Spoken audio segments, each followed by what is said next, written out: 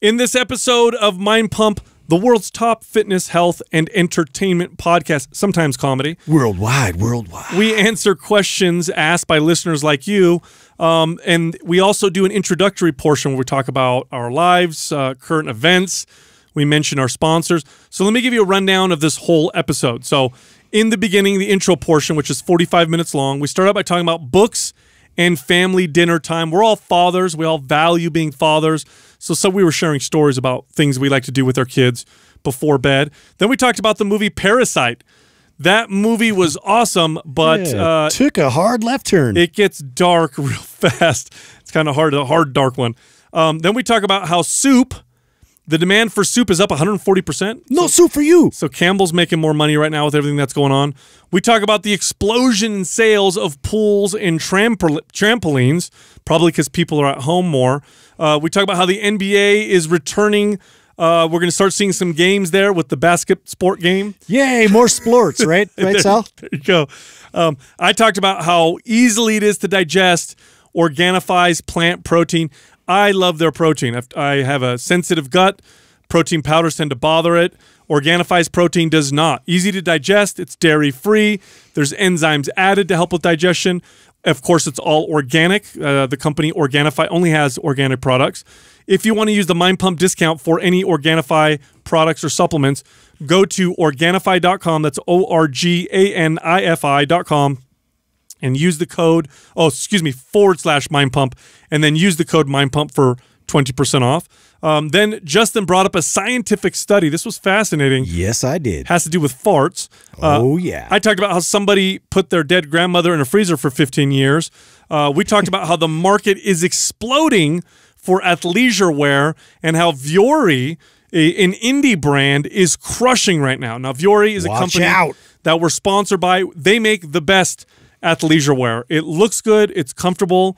It's uh, it lasts a long time. They have a lifetime guarantee for all of their products. And because you listen to Mind Pump, you get 25% off. Here's how you get that discount. Go to Vuori Clothing. That's V U O R I clothing.com forward slash mind pump. Use the code listed on the page for 25% off. And then we talk a little bit about the current events and our thoughts around them. Then we got into the questions. The first question this person wants to know what we think of finishers. These are exercises people do at the end of the workouts to finish off. I don't know. Hey. The next question this person wants to know how important it is to have a low back arch when you're chest pressing. So we talk about the value of the arch. The next question this person says, Hey, for athletes, what's the best balance between cardio, resistance training, and mobility training? And then the final question that we answer this person wants to know what our biggest client pet peeves were when we were training clients. Also, this month, all month long, our high intensity interval training program, MAPS HIIT, is 50% off. This is a very effective fat burning program in the short term. In other words, you will burn more fat in a short period of time following MAPS HIIT than you will with any other program. It's intense, so make sure it's appropriate for you. But of course, it's summertime. Everybody wants to burn body fat. That's why we put this one on sale. Now, of course, don't forget the program includes uh, videos and demos and things you could do. Uh, you basically follow the whole program by logging in.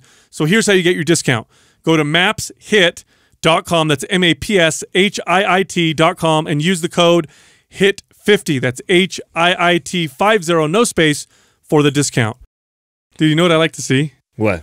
Um, not that I mean, it's just heartwarming. Every night when we're working out of town, you uh, you call your son and read a story to him. Oh yeah, yeah. Yeah. I like to make. Uh, well, that's been. Um, It's cute. That's nice, dude. well, I don't know. I mean, I guess uh, this is my first go around as a dad, and I, I don't know if that's a thing for other fathers, but for me personally, it's been my favorite time is to to read to him. It's not t-shirt time. Oh, yeah. it's, it's, it's the t-shirt time. Story time. But we do say that about bath time. It's bath time. It's your favorite time of the day. No way, really? Yeah, yeah. yeah. So we do that at my Oh, house. now is he is he like really paying attention to the stories and stuff? Yeah, yeah. So I, I mean, I, I even like will. So I read him about I don't know. There's seven or ten books a night, and I'll I'll lay him out on the bed and let him go grab like his favorite. So he picks one. Yeah, so he'll pick one, and he's starting to get. Does he pick like a favorite? Yeah, Katrina hates it. He likes all the daddy ones. Does he really? Yeah, I love my daddy. uh, dada. The Jimmy Fallon dada book is hilarious to me. I think I brought it up before in the show. Yeah. But it's like literally all it says, you know, it's an animal and with the animal noise it makes, and then it says dada. Like the whole book is that. But he loves that. Uh, and then at the very end of the book, it says, uh, you know, and now, now together we say it one more time, and then the you turn it open, it says dada real big, and he's figured that out. And so then before I open that last page, he gets all excited? He gets all excited and he says dada. So it's uh, it's pretty awesome. Yeah, no, it's uh, it's actually something that I don't know. Who knows how long? Uh, you know, I, I'm going to try and make this commitment that I forever uh, read with him at night. And when he gets to the age when he's probably no in, not interested in reading dada books anymore, and he wants to read other books. That as a family we'll sit and read. You know, Katrina can read what she wants to read. He'll read. Oh, just quiet time. yeah, yeah. I like that. Yeah, so I'm going to try and continue that. Like, and and part of that, uh, if I'm committed to doing that right now, then it starts. I think first with me staying committed to you know reading to him now, even when I'm out of town. So Katrina will normally FaceTime me when when he's uh, and there's been a couple times where you know it just didn't line up because we were working or something, and so I've missed out on it. But very, very, I think I can definitely count on uh, one hand uh, since he's been born that I have not read from him, read to him at six thirty. Oh, yeah. If you're consistent, it'll it'll remain. That's what I hope. Yeah, it's like know, my it's- like my daughter. She's ten, and still she doesn't go to bed unless I go to her room and give her a kiss. Mm-hmm. She still won't go to bed, so she'll she'll she'll get ready, be in bed, and she'll wait there with her light on. And if I take too long, she'll call me, "Baba, baba," and I go in there and I give her a hug and a kiss. And Yeah. I hope that never changes. I know, me too, and that's kind of what I'm hoping. And I, I obviously I realize that one day he'll get tired of reading the, those types of books, but then I would think that it would evolve to other types of books, right? And, and I'll continue to read, you know, to him or with him uh, as much as I can. I just think that you know it wasn't something that uh, we did too much. You know, my my mom, I remember a few times, like you know, we did uh, evening devotionals as a family for a while, which obviously was probably good for us. Um, but I remember as a kid when we were implementing that, it was later in, in my you know young uh, or uh, early adulthood or whatever, and I was like a little re- uh, resistant of it, just because it wasn't something that was already implemented into our life. So I'm hoping that I can implement that early, and it's something he looks forward to and he wants to do, and I can just stay stay consistent with that. Because I wish I did read more when I was younger. That didn't really kick off for me until my 20s. Yeah, these are the the things that you're consistent with. Um, they tend to become a part of your um, your family culture. Like in my family, it was very important that we all ate dinner together. We never ate dinner separately. And this isn't judging other families that are, but just I know, and I didn't know any different as a kid. Everybody waited. You know, the dinner was the, the the table would be set, and we'd sit and wait for everybody to sit down Yep. before we start eating. And so we do that now with you know, with, so my kids grew up that way. Yeah, we do the same thing. Yeah, so they don't. They don't so we just transitioned to that right now, right? So he's he's finally like able to like kind of feed him, kind of feed himself. Does he or- make throw shit everywhere? yeah, yeah. So we're there now, right? And that was something that Katrina and I agreed on. She was raised that way. I I was raised that was another thing that I think my, my mom did really good was we always had dinner at the dinner table, um, and we couldn't watch TV at the same time. It was in a different room, and it was. Uh, you know, and the kid, we as kids set the table, and we, we had our dish night and everything. So, yeah, I, I and we. It, it's funny because you actually see he behaves better and and and actually eats better when we all do it together. Yeah. So we've even picked up on those patterns when you know maybe there was a time where because when it, Katrina it took a little while for her to kind of like figure the timing out of like when he's eating and when we were going to make our dinner for when we first were transitioning into feeding him whole foods you know we were actually eating at different times and when it got to a point where he was being a little more more aware and eating himself with his hands like you know we made that transition and instantly when we made that transition to just feeding him by himself like in the di- your kitchen area uh, on his high chair to all of us sitting at the table and eating he does way Well, better. you find, especially when the kids get older, there's not a lot of time where everybody's together at the same time. So it's like you have to designate, and why not have it make you know be dinner? Yeah, it's Why- important. why it's important to have family time like that. Going back to like reading stories and all that, like uh, we just got a bunch of those really cool illustrated kind of sciency books. You, have you ever heard of like Animalium or um, uh, what's the other? It's like Historium or No, I haven't. yeah, they're kind of like uh, encyclopedias, but uh, they give you a lot of real detailed information about, uh, you know, plants or about like animals. Is or- that kind of like uh, remember World Book's version of that? Child, uh, God, what was it called? You meant, did you guys ever have World Book growing up? Oh, you guys didn't have the encyclopedias that were all. It was like yeah, it was a lot like that, like the Britannicas and all that. Yeah, why can't I think of the name? That's gonna drive me crazy. I Anyway, Funk and Wagnalls. That's what I. Had. I mean, that was the name of the encyclopedia. Was that the Yeah, name of it? Funk and Wagnalls. I think it was like the great cheaper, name. It was the cheaper version of uh, Encyc- Encyclopedia Britannica. yeah, You know what I mean? Yeah, yeah. It's like it's like my mom buying the the, malto the, meal the version of knockoff version, the Malt-O-Meal. That's yeah, it, exactly. Yeah. So I was reading uh, the the boys. Um, you know, uh, I was trying it out. I was trying to go a little bit more, um, you know, detailed information because I, I I always read them like silly stories and you know try and ad lib and do all this kind of stuff. And so and they were getting into it because it's really interesting and fascinating to see all this stuff. And I'm reading, and it's a very like descriptive, uh, you know, type of uh, uh, content. And and as I'm reading and kind of really trying to get through this, uh, Everett kind of looks up at me and like stops me and he puts his hand over his mouth and he goes. because he's bored. it's like you little shit. I was laughing so hard though because it was like so out of left field, you know. And I was like, oh my god, that was like one of his first like best jokes you've ever done. Oh, you know? oh, it made me it made me proud. That's adorable. Yeah. dude. Jessica sent me videos uh, the other day of her of the bell her belly moving. You can see it. oh, now. that's starting to happen now. yeah, it's like o- like overnight. It went from we couldn't. Isn't that anything trippy to, watch? Like, yeah, you could just see the little, uh, y- you know, like a bump kind of move around. Yeah, there. right now Yeah. it looks like little flutters or little whatever. So is she like Katrina was hardcore into like all the apps that talk about like uh, each stage of development where they are, like when they could start actually hearing things outside the belly, Uh-huh. like what phase that is. Is she following all that? Oh yeah, both of us. I mean, I love that stuff. And, Yeah. so, and I'm talking a lot to the baby now that you know I'll, I'll go down like belly level and Yeah. have a little conversation with my kid, and I'll say things indirectly to Jessica. I'll be like, "Your mama's acting crazy right now." no, I don't do that. Just kidding. Passive aggressive. You little cutie. I'm sorry you're in this person. No, Uh, just I plant seeds. No, plant it's it's seeds. adorable. I, I absolutely love it. I'm I'm loving the whole thing, dude. You missed last night a fucked up movie, What'd you guys watch? Oh, that's right. You weren't there, Adam. Bro. you guys Oh. always make weird choices, bro. I'm No, no, no, no. We we had talked about watching this though a while ago. Remember Parasite? Uh, oh, oh yeah, I've seen the- it. You Oh, saw you the, have the, seen Oh yeah, the I've it. Korean. That's a good movie. You you liked it? It was crazy. Great movie, bro. At the end, that twist, I was like, "What's happening?" Yeah, but it was so did this- good though. What, It was such a good dude? movie. I, it went got dark right away. It went. Yeah. It was like light, Yeah. fun, light, fun, dark. oh, I thought it was well written. Uh, so I, I thought it was too, but Yeah. I was not expecting. Yeah. It to Oh, it was nothing that. like what I thought either. Very thought provoking for sure. I Oh, mean, dude. it was like it was interesting because I didn't in the beginning. It, it felt like kind of a comedy. You know, like like the way that they're portraying, uh, you know, them characters the and stuff. characters, and like how you know they're kind of con artists and all this stuff, and then all of a sudden, yeah, like it got dark. Like this guy comes out, starts stabbing Yeah, everybody. Justin and I were sitting there like, oh "What shit! just We're like, whoa, dude? where'd this come from? I don't like this roller coaster of feelings. Oh, Yeah. you guys didn't. I loved it. I thought it was a great. I. I, I liked it. I, I I, thought just it- thought it was it was it was took me off guard. I, sure. yes, you know, I don't know if I like uh, the feeling of, and I, I can appreciate it, but I don't mind emotional roller coaster movies. I actually appreciate that, but I don't like it when I go from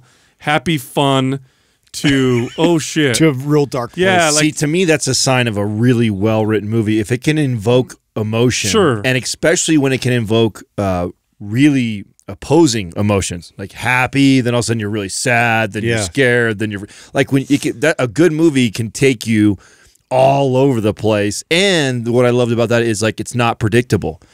So if it can emotionally super move you in all different for- directions, it's not predictable. Well written movie. I thought it was a great it movie. was it was definitely original. Yeah, Jojo him that. Rabbit did that to me when the, the- it got dark uh, in that Oh, movie too. oh I was my like so God. mad. I'm like, why?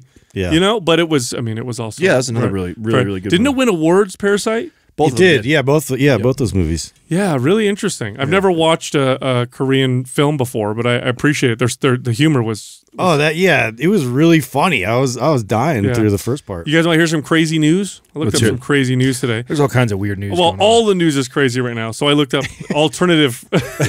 What side of the crazy are we going to Yeah, expose? alternative crazy news. So um, apparently, a Spain a, a porn star in Spain uh, is going to get charged with murder or manslaughter because she did uh, one of those mystic rituals with this man where they inhale psychedelic toad venom. And apparently it killed the man. So she's now going to be charged. Wait, wait. She's the prostitute, and she did it Porn with this- star. oh, she's a porn different. star. yeah, Oh, sorry. Different. Yeah. Porn, prostitutes don't get filmed. So she didn't have a active shaman license. no. So yeah, exactly. So they're doing a. They were doing like a, a mystic ritual, and But why is she the one held accountable for it? They- because I think she gave it to him. She gave it to him, and then he died. wow. I know, dude. Damn. That sucks. I didn't think you you inhaled the the frog venom, or I thought they just like uh uh pokey with it. Dude, I, I had a friend that did. Actually, she she rented space in my studio back when I had a studio, so she was all into that Yeah. kind of stuff. And she came into work one day just to grab some stuff. She had taken the day off. She was a massage therapist, and her face looked like All swollen. yeah, it looks that frog shit, It right? looks swollen, like somebody like hit, you know beat her up or whatever. I'm like, what happened to you? She's like, oh, I'm cleansing my body. I'm like, what? so she shows me her Oh, arm. you feel great got- after you're done. yeah, and she's like, she has like these marks on her arm from this this you know frog poison or whatever, and she's explaining it to me. She's like, it's cleansing my body. I'm like, well, what happened? She's like, well. My face's swelling has gone down. And I looked at her like, what it looked like before, because it's messing right now. Oh no. And she's like, she threw up and shit herself, and she's like, but now I'm starting to feel amazing. I'm like, well, I mean, The, the logic to that. se- contrast probably Yeah, I know. That's what the logic behind that seems very similar to someone being like, "Oh my god, my my right arm hurts so bad," and then grabbing their left arm and breaking it. You know what I'm saying? Like, how bad your right arm feel now? Not so bad, because my left arm's fucking It's broken. just, I think, yeah, the contrast. Oh, I feel cleansed now. Well, yeah, because you threw up and shit everything, and, and and you were fear for your life. Anything's gonna feel better after that, right? Yeah, dude. So, so well, in other news, I, I think I brought up the the we were talking about all the different markets that are up. The Campbell soup, 140 percent. So that's been like skyrocketing as everybody's Really? doing. Oh, the man. one everybody's buying canned foods. here's one that tripped me out though. I was reading this. Uh, above ground pools are like impossible to get right now. Yeah, I was telling you guys like uh, I remember my brother uh, telling me about that. Like he was uh, he just got something. He got like one of the last ones, but it's like you can't find them anywhere now. Nowhere. Is that because people are all at home? Yeah, Yeah. So trampolines was the other one, and I Yep. think you brought that up, Justin. Is so people are trying to find ways, obviously, one to stay cool and and play or entertain their kids, and uh, public places to go do a lot of this stuff is still shut down Yeah. or will be shut down. Yeah. and so yeah, so pools, the sand, even like the sand to try and level the ground out to put a pool on it, it's just like impossible right now Wow, to, to get what a hold of. What an interesting market to Yeah, get into. weird, huh? Do you know they used to call trampolines jumpolines, and then your mom got on one. Hey, hey. Wow! Bing! Wow. Sorry, I've been holding that Who's, one for. who, who's that referred to? I've been holding that one to, Yeah, for a long I, time. I gotta know if I gotta Hey, get you back NBA's coming that. back, dude. So, Oh, yeah? yeah, yeah. So they did. Uh, they're doing the 22 teams. So they're what doing. sport is that again? Yeah, basketball. Oh, huh?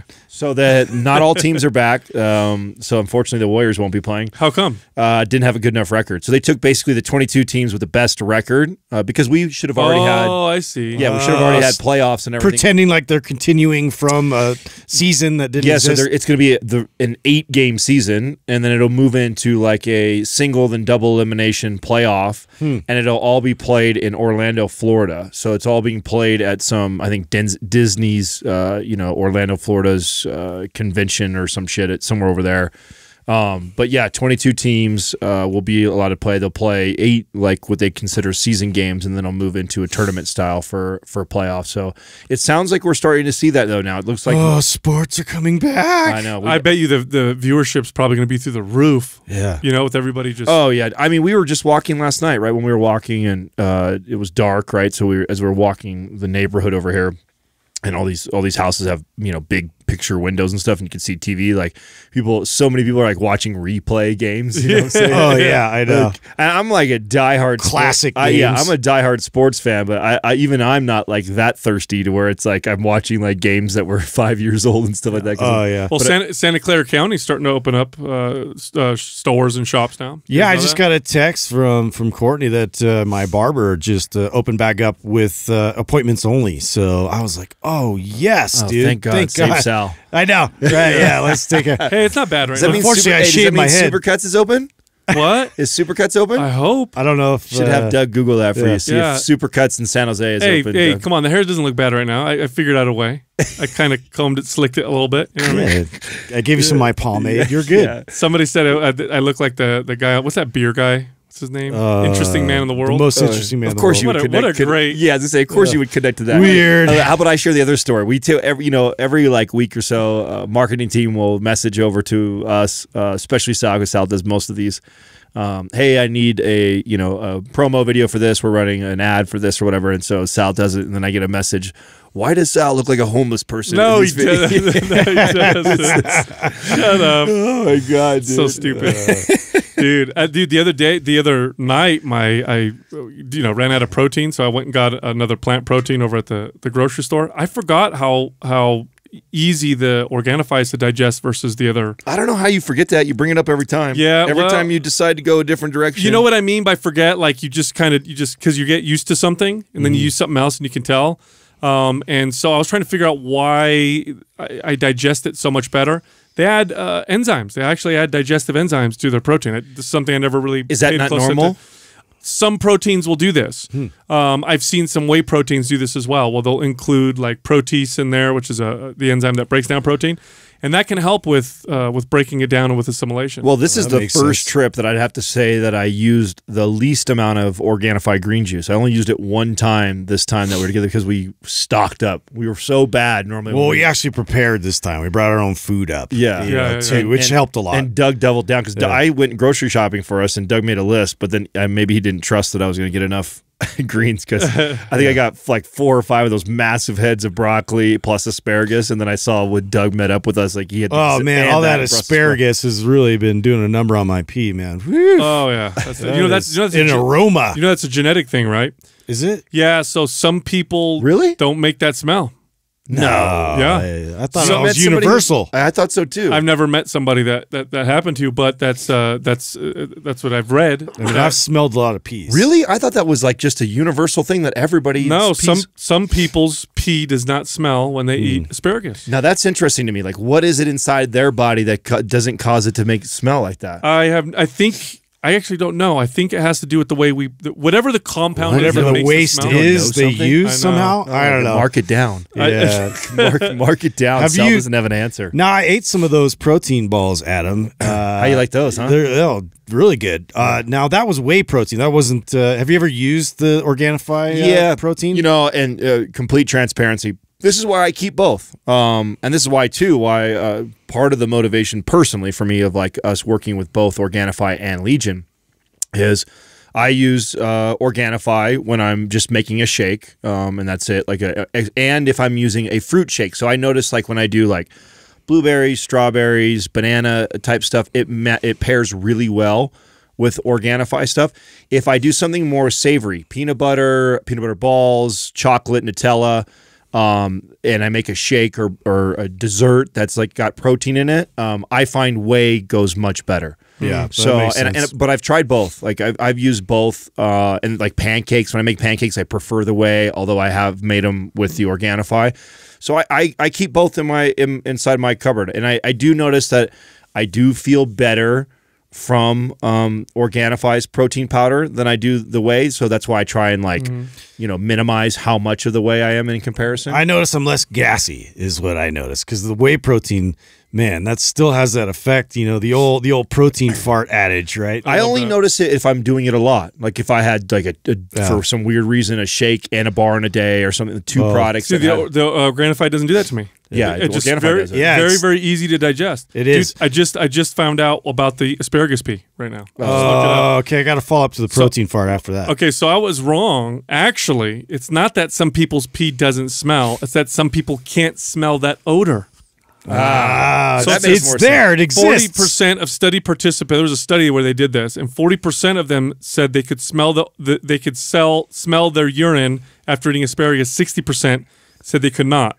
So there's something in the odor itself some people can't detect. well, that's similar to you know you Justin transition for you. I'll help you out here. Is like farts. You know, some people think their farts don't stink, Your shit fucking they farts just smell, can't bro. smell 'em. Yeah, it smells. Well, I brought that up because there's actually a legit study that, uh, okay, it said this study reveals that smelling your partner's farts is the secret to a longer life. Wow. I was What? like, I was like, yes. I call is- bullshit. This is validation. Yeah. Dude, this is from the to- Journal of Medicinal Chemistry Communications. It sounds legit. Katrina and I, ten years, Yeah. still going strong. Wow, Yeah. you, you, you, what a terrible husband. You want your wife to die early? Ten, Prolong her life. Staves off cancer, has all these like uh, Bro, yeah, one hundred percent protective qualities to. it. I'm like, it's time to start hotboxing again. Yeah, let me Yeah, tell you, I mean, Courtney and little Jessica Dutch are oven going to live a long time Yes, for sure. You need to start. You need to start Yeah. blasting your. See, your- depriving your your poor. We'll see what she thinks after Girl. she listens. to She this still hasn't heard you fart ever. No. You, she hasn't heard you fart. Yep.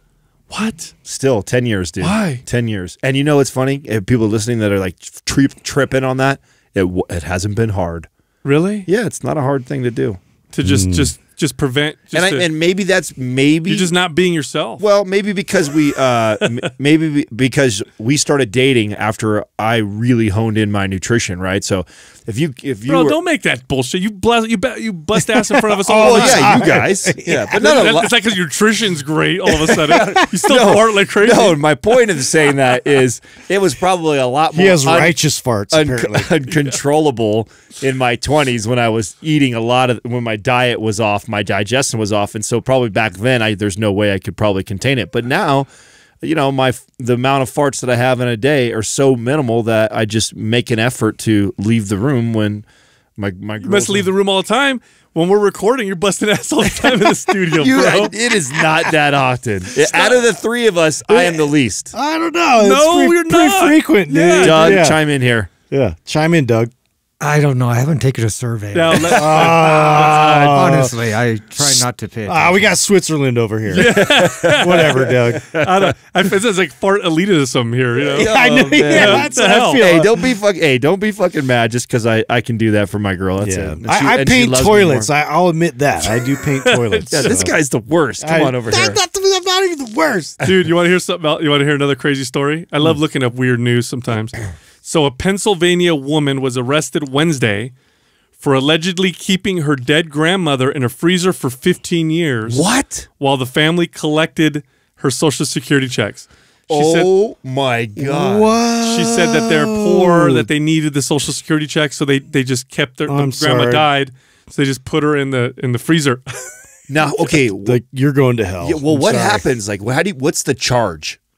I don't know if they can prove They didn't that- murder her. Oh well, I guess fraud, fraud, right? Yeah, It would be fraud. yeah, yeah. yeah. And what do they get him for? Is it, do you get mail fraud for that too? Like, how, how many things do you get? That sounds like a weekend at Bernie's kind of a movie in the making. Uh, That's that's crazy though. 15 years. So imagine collecting 15 years of Social Security. What's crazy to me is that as as old as we are, and as long and the crazy news that we all read and see, I've never heard something like that before. Mm-hmm. Like the th- the thought like that crossed someone's mind, like grandma dies, and the first thing you think of is, oh my god, we can't tell anybody. Let's put her in the freezer because our social security checks are going to end. Yeah. Dude, imagine must have having been the It's almost like they just find out she's in. They're, they're all like, you know, uh, depressed about, and all of a sudden, like a mailman comes by and like drops off a right. check. It had to like, happen like that. That's the only Wait way a that- minute, click. Yeah, that's Yeah. the only way that had to happen, right? Yeah, are you guys uh, familiar with how who was that one hitman for the mafia? Was it the I, they call him the Iceman? I think it was. He used to freeze. He'd kill someone, freeze the body, then he would let it defrost, and then he would uh, dump the body somewhere. And what it would do is it would hide the time of death because he'd freeze them right when they're when they're dead. Then like he'd wait like six months. Does that really throw that off, or I do we have? Are we Oh, further wow. along in forensics now? That's what he used to do, and apparently it worked. I don't know. You're, you're that's a good question. I Yeah, I think would- he got caught because someone didn't fully defrost. and They saw ice crystals, and so then they pieced it together. But before that happened, they couldn't identify the time of death. Wow, that's crazy. Yeah, Yeah, So he would just freeze, that. freeze them. That's really. He's the same guy that would The put them in. Iceman. Yeah, and they, he would also uh, put them in a vat of acid to. Oh, To yeah. boil off the That's- hole or that's just whatever. Gruesome. That's disgusting, That- gruesome. That is, that is that dude. is- Uh, are you are you keeping up with the athleisure wear wars right now, Adam? Yeah, no, there was actually just a great. Yeah, no, there was a. It's funny. It's actually true. There's like a lot going on Yeah. right now with. Well, there's this huge spike in athleisure wear because so many people are either one not working at all at home, or two can work from home now that weren't able to to work. So uh, they actually just had this article with Vi- uh, talking about Vuori and labeling them as like an indie brand in comparison to like Champion and Nike and all those.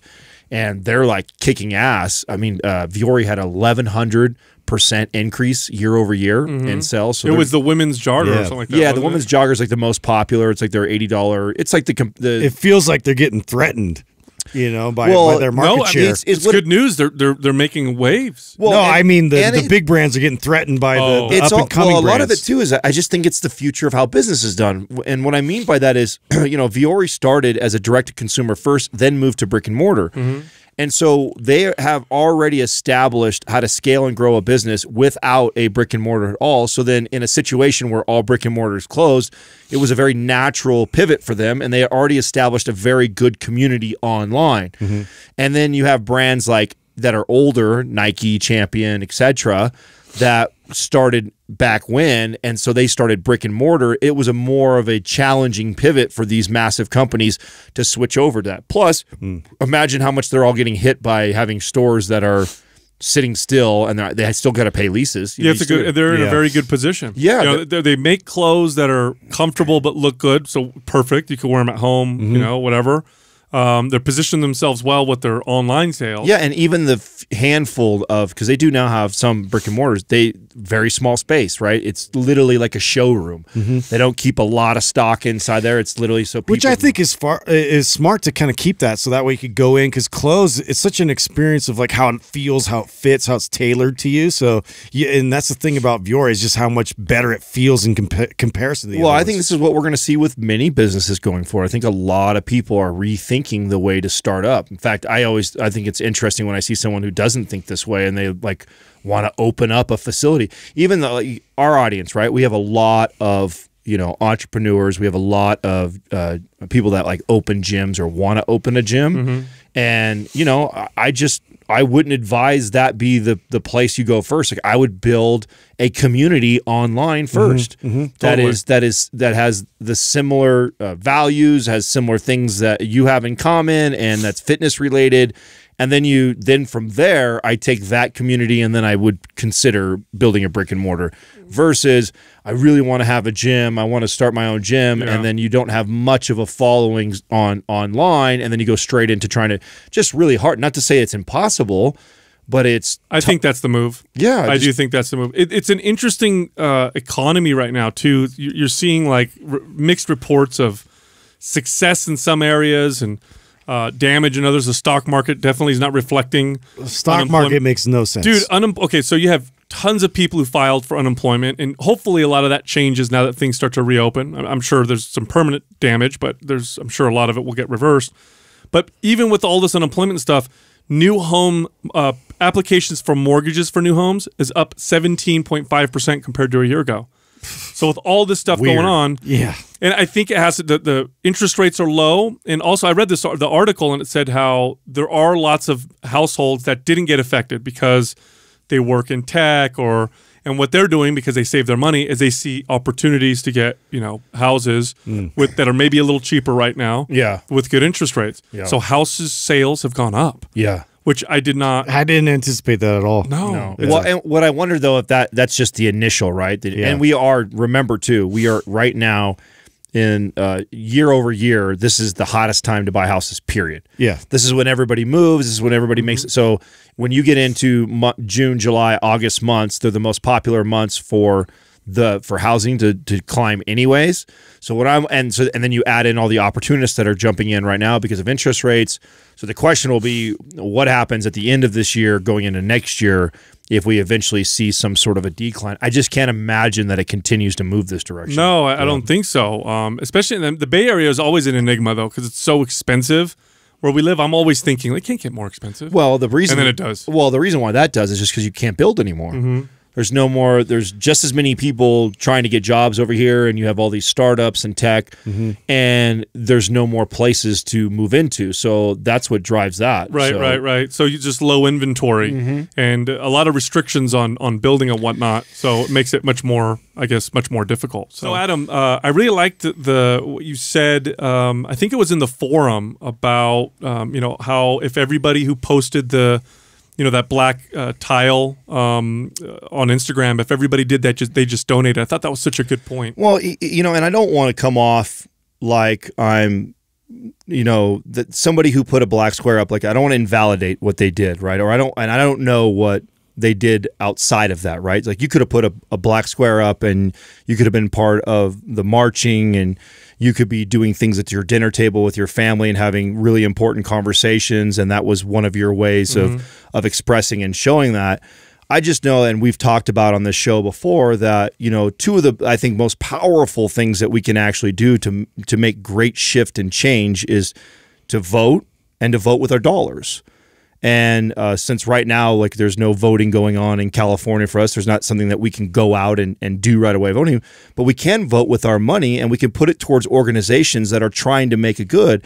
And I was just making an observation that, you know, there was 28.9 million black squares that were posted. And imagine if all those same people just donated $1 towards a cause that actually is taking action to change these mm-hmm. inequalities. And so it wasn't to to belittle or devalue or to say that oh you're you're this because you put a black square up. It was because people didn't understand why I didn't, you know, and and that and because we had already had a conversation around what what we were doing well before the black square thing even happened, and felt good about it. And I felt that I saw a lot of people, not everybody, but a lot of people, especially people with with big voices like ourselves in our, our our space that we know of, that it came off more like virtue signaling, like look at me, I I too, you know, mm-hmm. I, and and instead of taking action and doing something. So for me, that was what I was trying to explain was imagine how powerful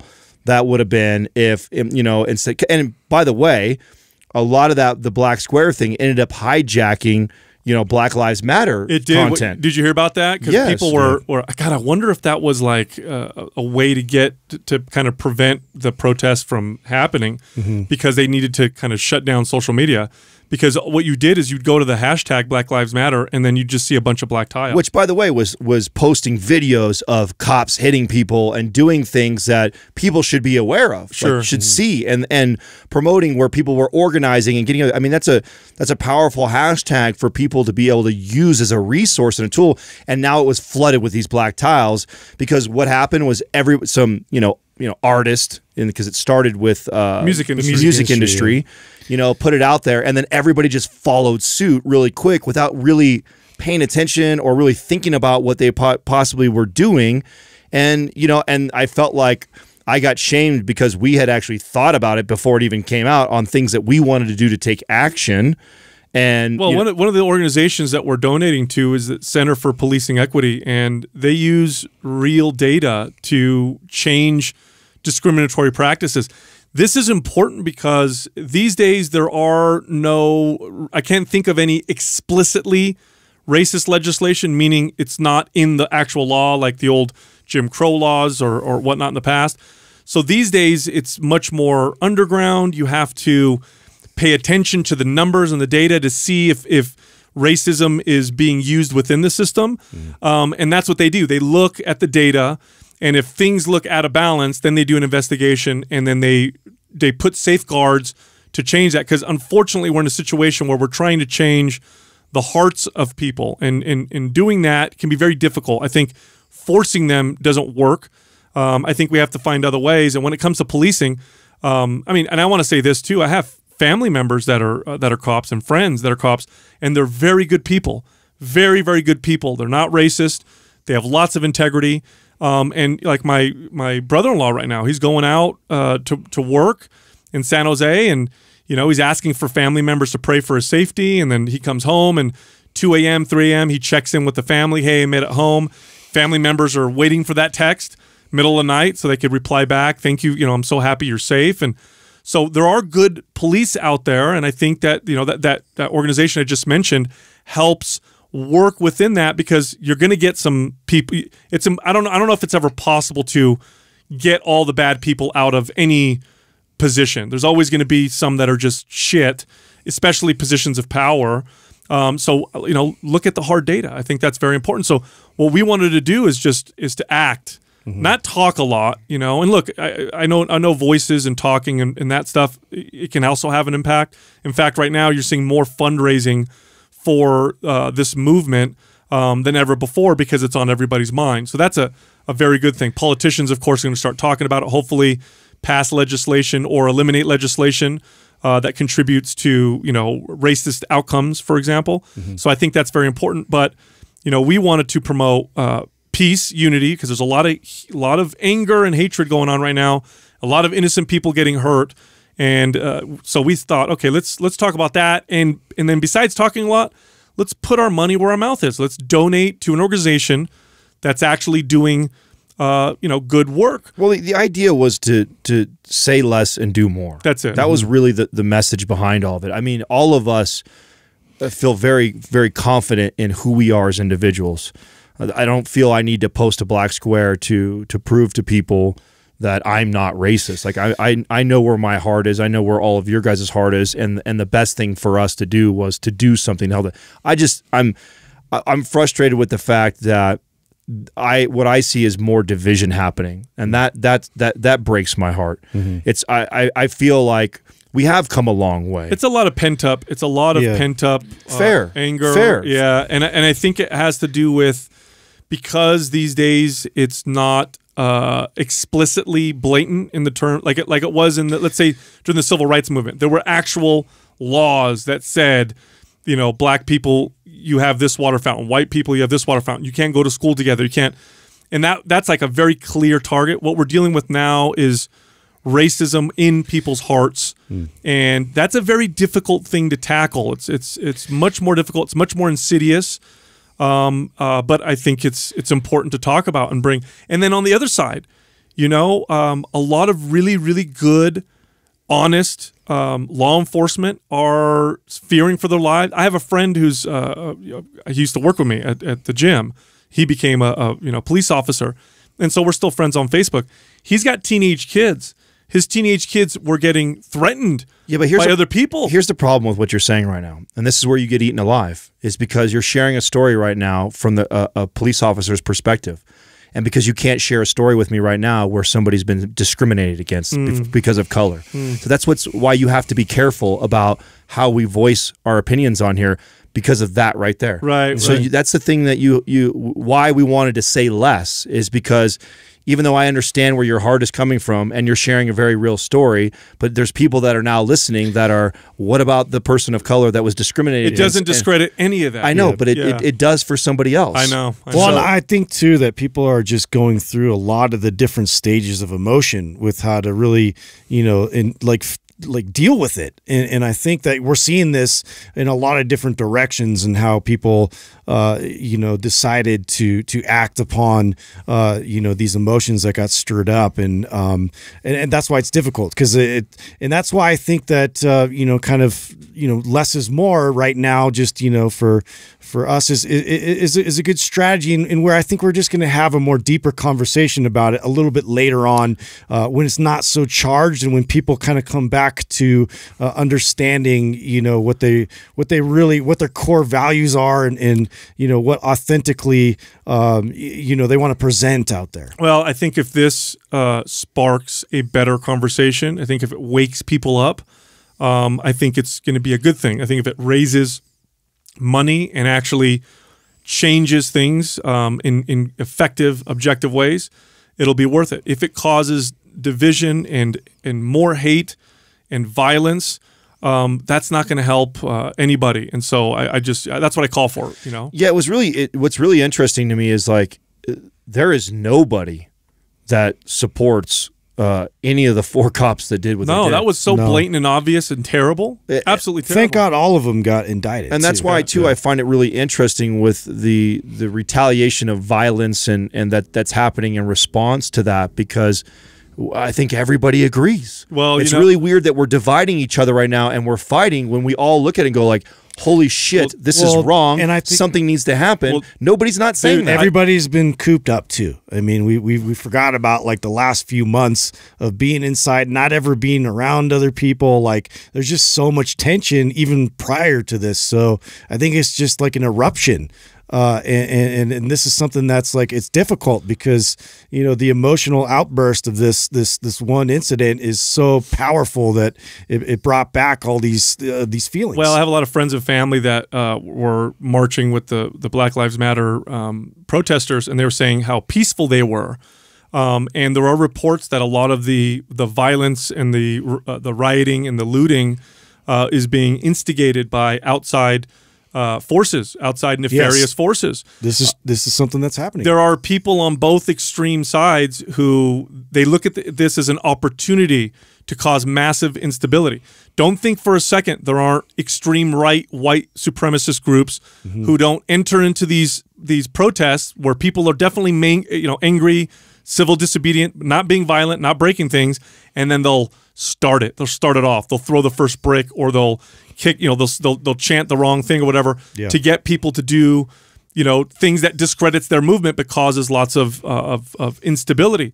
Um, there's extreme left movements. There are outside look. Uh, China, Russia, other countries are constantly looking for opportunities to cause instability. Don't think for a second they're not looking at peaceful yet but angry, intense protests and saying this is going to be something we can manipulate.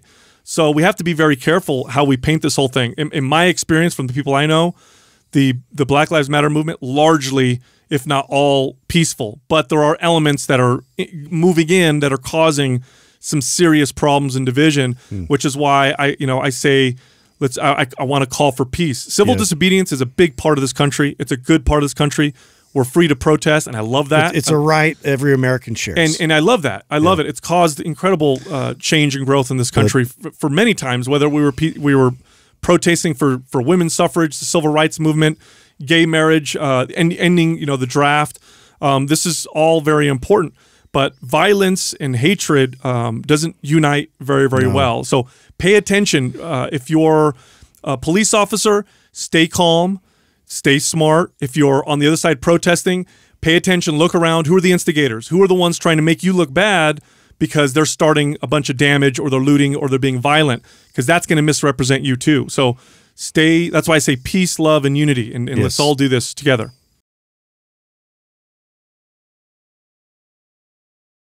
First question is from Katie G. Hart. What is your opinion on finishers? Are they necessary or helpful to build strength? ah, yes, the happy ending of fitness programming. The, Woo! the finisher. "Oh, I don't feel satisfied. I need to be finished. So finishers refers to exercises that people do at the end of their workout. These are made up. and they- right. they Why are you validating Well, them? I'm just I'm just explaining, right? They're isolation movements. They're designed to add more volume, give you a better pump, that kind of stuff. I get you know why people do it. They want to get they want to squeeze in more sets without um, creating much more damage. But there is a much better way of increasing volume over time with your workouts. That's that's just it. If you were to take, um, that's why God, this question feels like deja vu for some reason. yeah, no. yeah, weird. With- so the, if you were to take your uh, you know your workout programming, whatever it is, whatever you're following, if you're not following maps, and you actually just measured the total volume, sets, reps, weight, you multiply all three of those, right, and you get your total volume. So let's say it's chest day, and you and you multiply that out, and you've got you know fifteen thousand or ten thousand pounds of total volume. It's probably some totally inflated number, but let's just say for argument's sake, ten thousand pounds of volume that you're moving of weight uh, on your chest and you saw, you know, Joey Swoll's Instagram, and he's talking about the latest, greatest finisher exercise that you should do Best content. for for chest day, right? And it's you know, and normally finisher quote unquote exercises are, you know, cable like Sal's alluding to, isolation type exercises to kind of get the pump off or finish your workout. Okay, if you take that the same scenario and instead of doing a finisher of you know three to five sets of these pumping exercises, and you added one more uh, set of your incline barbell press that day and one more set of your dumbbell chest press exercise that day, you will get way more bang for you. You'll get more gains from that than just adding a finisher exercise. And even if you're listening to me right now and you're like, oh, that's bullshit. I follow Joey and I did his finisher thing and it totally helped my chest. What, for two weeks? And then your body got adapted to that because all you did was add volume to a workout. The body responded, changed, grew, got stronger, whatever, adapted, and then now it's plateaued again. Like until you figure out what you're actually doing that's causing the gains or not.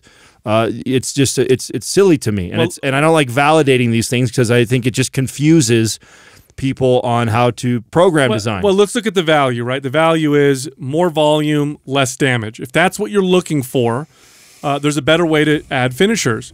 Um, not at the end of your workout. Do them on the days off in between.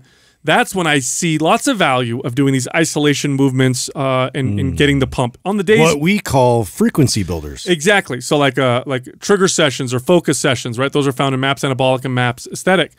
Those are frequency builders. They add volume, they're lower intensity, and the exercises that make up those workouts would be considered finishers if you did them at the end of your your normal long workout. So the way I like to do it is do your normal regular heavy workout, then on the days in between when you're off, when you're not training that body part, throw in a few sets of some of these finishing exercises. Do it that way and watch what happens. Now if you want to add something to the end of your workout, um, add add excuse me isometric movements squeeze the muscle really hard at the end of the workout do that for 10 15 seconds hold the squeeze rest for 30 seconds to a minute repeat try that five times and watch what happens Next question is from M Tino 10. How important is having a lower back arch when chest pressing? Are there ways to improve having a stronger arch? well since justin has the best Yeah, Just, Justin's always working on his arch. yeah, he's got the, Oh, since he has the best one we should ask him I'm gonna get a tattoo. on there. Watch out, you guys. This helps. This helps with booty pics more than anything else. Yeah, else. no. No, so when you lay on your back flat, you'll have this natural arch in your low back. Don't try to flatten that down. You want to bring it up just a little bit, tighten your body. Now, what that does is it allows you to bring or helps you bring your shoulder blades down and back and stabilize them so that you can press heavy weight. It actually is safer for your shoulders to to press this way. It works the chest better as well. So this is that arch in your bench press is an important part of the form. Now power lifters will exaggerate that to shorten the range of motion or to maximize leverage. If you're a power lifter, totally fine. But if you're a regular lifter, just do the natural arch, arch brace yourself, bring the shoulders down and back, and stabilize the shoulders. That is I- part of form. I actually don't like cueing this at all. It, I cue the shoulder blades. Mm-hmm. It, that creates the natural arch. If you tell people about the arch, they think about their low back more than they think about what you really should Sure. be thinking about. This isn't about your low back. This is about your pulling your shoulder blades back and down. When you pull your shoulder blades, and anybody listening right now can do it in your car or sitting in a chair or whatever you're out right now. Headlights. yeah, pull pull and squeeze your shoulder blades back and down. And when you do that, you'll feel that your your low back naturally arches. Don't think just about at arching the low back. That's a bad cue, and I think it's mm. a it's a bad way to teach somebody this. You're natural. Everybody has a natural arch. yeah, no lay matter- flat on the floor. Yeah. Yeah. You'll naturally have it. Yeah, and some more than others. Okay, Justin. but yeah. but by you you guys are so jealous. cueing the shoulder blades back and down, it's going to put a, a perfect arch in your back that you don't need to be focused on it anymore in that. And the only reason to focus on getting a more extreme one is if in your if you are in the sport of powerlifting and so you're trying to create more leverage. It will give you more leverage to get an excessive arch, but that More- doesn't compute to more gains. More leverage, definitely everything you said, but also don't forget the leg drive. And, and that's just to be more effective with your distribution of force and to be able to generate more force. And uh, the more stable your body feels uh, in that position, yes, you're going to have a natural arch because of exactly what Adam said with, uh, you know, bringing those shoulder blades back and down, but also, too, you want to be able to support everything by adding in your legs as, as another component. All right, next question is from Con Nielsen. For athletes, what is a good balance between cardio, resistance training, and mobility training? Mm, this Oh. depends on the sport. It does, right? If you're whatever sport you're doing, that most of your training should be practicing uh, that sport, playing that sport, uh, scrim- doing scrimmages. Splort. Yeah, I said that weird. didn't I? Got that. It's because of his Splort. vocabulary. Sorry. That's right. Yeah, I what like is this that. word? It's so foreign. Uh, no, I, I've trained athletes. Shut up. Uh, yeah. Practice your sport uh, most often. That's where most of your workouts should uh, should be placed. Now, as far as strength training is concerned, depends on what you're doing. Uh, if and it depends on what your season looks like. If you're doing lots and lots of practice, I strength train with athletes once a week sometimes because they're doing so much other work. Mobility work daily. Um, and not intense daily. Some days are intense, some days are easier, but every single day we'd be working on mobility because mobility done properly uh, really attacks the main reason why athletes' performance may decline, uh, which has to do with just uh, poor movement patterns and injury. Dude, one hundred percent. This is I, if I could go back and, and redo my entire programming of my athletic career, I would place way more emphasis on strength and movement. And in in terms of like building a, a solid base is, I mean, it's really important to build that foundational strength, and so that has to be, you know, what you really focus on in the very beginning. But also, you know, once you get to that point, it's about how well, how effectively you can move, how explosive you can you can move, and how quickly you can stabilize on command. You have to have, uh, you know, an even higher level of command over your body and healthy joints to be able to pull that off. And nothing addresses that better than, you know, quality mobility practices and really focusing on strengthening uh, your range of motion. This is one of those questions. This is really hard to answer because there's such an individual variance, uh, like like many questions that we have to try and answer. Um, and, and you do you have to really look at where, where your shortcomings are in, as an athlete because if you have a weak gas tank, then you, I would I would have you do more cardio. Um, let's say you're you're carrying an extra, you know, 15, 20 pounds that is not helping us out in your sport. You know, your sport is not a sport used like with leverage, like maybe wrestling or something like that. And then you being an extra 15, 20 pounds overweight, uh, I might have you on the treadmill doing more more work to burn calories and burn body fat to get you leaner and lighter and work on your endurance because you lack there. If you're somebody who doesn't lack there so much, then it's it's going to be less emphasis there. Uh, I, I agree. I think with both you on the mobility thing, I don't think anybody can do too much of that. I think that's something that uh, we can all be better at, and and I think uh, it's an area that a lot of athletes neglect. Um, but again, still, it, it really depends on how much of a limiting factor that is in your performance of of your sport, and and every sport is very different. So uh, it's a it's a tough one uh, to answer. Now, if you're just a person who uh, considers themselves athletic because they like to go pick a ball up every once in a while and play a sport or they do athletic things, but then they also want to build muscle, then I also have you know different advice for you. Like you, you have to understand there's going to be a give and take in everything. If your my sport is the number one focus, then uh, like Sal alluded to, I might be only training you one day a week uh, in weight training because most of the time it's going to be geared around getting you better at your sport and and your skill. Uh, but if you're somebody who's just like, hey, I, I want to be an athletic person, but I also want to build a physique, well, then I might have you training two to three days a week Yeah. in, in weightlifting with, you know, intermittently using cardio and using different drills to keep you athletic and mobile. And mobility is the one thing probably that we all would say in common of that just needs to be in there on, on a regular basis. for sports. Splort. Next question is from Tanner Sorrells. What was each of your biggest client pet peeves when you all were training? Oh, yeah. That's a good one. Whoever picked you know, I, I'll, I'll- got one off the top of my head. I used to. I used to hate having to um, explain or or debate fads, fitness and health fads constantly. So, Oh like, Lord. I'd be training a client for a year, two years, three years. You know, they've learned a lot. We've gotten real far. They've gotten great progress. Yeah. And then they'd come in and be like, "Hey, my friend lost just lost thirty pounds. She did this uh, HCG diet. yeah. Have you heard of it?" And I'm like, ah, okay, let me look it up. And I look it up, like, all right, here's why it's not good. But uh, but she looks really good. How did she lose that weight? I'm like, well, it's you know 400 calories a day. It's not has nothing to do with this HCG that they're injecting. And then I have to have these discussions and debates. And I would get annoyed because I'd almost it's almost like you're you want to tell your client like you should know better. Yeah. You know, I've been talking to you about this for three years. Now you're coming to bring me. But that was one of my pet peeves. But I always, I always tried to stay patient and calm because there's so much bad information out there that you know a big part of your job as a trainer is just helping them sift through the crap and find the good stuff. You know? lying to me. That was like my number one pet peeve. I mean, Cleveland clients lie. They told you you're a good trainer. Yeah, You liar. That was, big, that was the biggest lie for sure. You lie. No, I mean they do. Uh, when they track their food and stuff. yeah, Oh, food tracking or telling you that like if I like you know uh, or you know ones where I try to get somebody to stop doing cardio and you know I'd sneak around your back. Oh yeah, they would. I, Mm-hmm. I'd catch them. You know what I'm saying? I'd catch them doing things. I'd be like, "What did I tell you?" You know, and, th- and then we wonder why things aren't going to according to plan.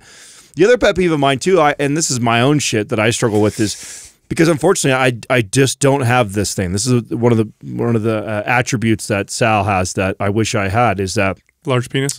Oh my God, you're just I'm hitting, sorry. Him, hitting him out the park today. Yeah. Uh, yeah, Sorry. yeah. We, we would notice because uh, you wearing shorts. My bad. and- yeah, yeah. yeah. Sorry. no pants today. Uh, no, I, I don't have a, I don't have a photographic memory, and I am the worst. Like I, I will read a study two or three times, and it will take me at least four or five times trying to explain it before I think I can explain it really well. Um, and so when I would get you know challenged in something that I know I know I'm right, like I know that I have the right information, but then I couldn't articulate it really well. And I mm-hmm. know that you, Sal can't relate to this because he doesn't. He has the mm. opposite, right? He's really good at this. Probably what made him really good as a trainer is that you could probably someone could question him on what he's doing, and then he could break down the study to support it. I, on their hand, read the same studies but couldn't regurgitate it. so it was more like, just trust me, I goddamn knew it. You apply it. Yeah. so that was a pet peeve. It, it, it would frustrate me when you would you would hire me as a professional, and, and then I lacked the ability to. Uh, again, again, I know it's my own shit, right? It's not like I, um, it's I'm mad at the, the, the client, but it was a, a frustration, right, or a pet peeve of mine of like having to like prove that I knew that I was talking about. It's like I wouldn't be here, I wouldn't be doing this uh, if I if I didn't know what I was talking about. Uh, so that drove me crazy, spending a lot of time doing that. One of my biggest pet peeves was when I would take all of the time in the world to explain like exactly why I was programming the way I was programming and going through all these steps and uh, you know trust the process and all that stuff and I find out later like they signed up for all these extra classes that they were doing uh, uh, besides our our sessions and it was just like it was always never enough uh, which is a, a battle that I was constantly having with with clients. And then, uh, you know, inevitably we get to a point where they they realize they're just spinning their wheels. And because I would have other people listen that would get gain progress, and then we'd have that conversation again. It'd come up, but yeah, they used to just be so frustrating to me because it's. I mean, it just feel like it. It feels like doing more is always going to push you forward, but Yeah, like it's always better. it's just always better and that's that's a hard argument to to uh, unravel you know and, and show somebody that they're wrong Yeah, So- here's here's another one. Um, when I would go out to eat with a client, which wasn't super common, I did maintain a, a, a you know professional line, but uh, you know after you train people five, six, seven years, you know they'd ask you you go to lunch or come over meet my family, and you do it, and you would see them change their their like eating behaviors, but just because you're there, you know, like oh. I'll make sure we go somewhere healthy. And I'm like, man, I'm just a regular person like you are. And I train you. I've been training you for years. Like it's not a big deal. you eat milkshakes Yeah, you could have Fuck a, yeah, you I have a glass, milkshakes a glass of wine, and we can have pizza. Not, or you ever run into a client at the grocery store? It's happened. It's happened to me a couple times where I see a client with their with their cart, and then they see they see me, don't know that I saw that they saw me, and then they turn around real quick. leave, leave the their cart. cart- leave the cart. Yeah. because it's all like frozen food. so embarrassing, yeah, you know, like it's I don't like- know whose this was. Yeah, it's so weird. Thought it was mine. it just It was jumped totally in here mine. off the Yeah. racks But I mean, you know, eh, you, I'm, I mean, trainers are regular people too, and it- you're more effective when you the person is honest with you, and then you can work together. And I think sometimes as a trainer, I might have made people feel like they couldn't be totally honest. That was that's on me. It's like I'm, you know, following along your, your lines, Adam. That was on me pretty much. I mean, I think I think that's important to, to note, right? With any pet peeves, frustrations, uh, we're sharing them and having fun with them. But uh, I, I'm also a, person who uh, totally believes that it's a mirror of ourselves, right? So if I'm frustrated with anybody, and I stand by that. If I'm mad at another person or frustrated, and if I'm emotionally charged or irritated about anything that really isn't about the other person, it's really a reflection of myself. Um, so yeah, we're having fun with these pet peeves and all. But oh yeah like i could have communicated way better and would have absolved all of that Right. so. Yeah. Now, look, Mind Pump is recorded on video as well as audio, so you can actually watch and listen to Mind Pump also on YouTube. Uh, so it's the Mind Pump podcast. Go check it out. On there, we actually break up the episode with questions, so you don't have to listen to the whole thing. And they're easy to share, of course. So you can check us out there as well. Um, also, if you want to find us um, and talk to us, you can find us on Instagram. You can find Justin at Mind Pump Justin. You can find me at Mind Pump Sal and Adam at Mind Pump Adam.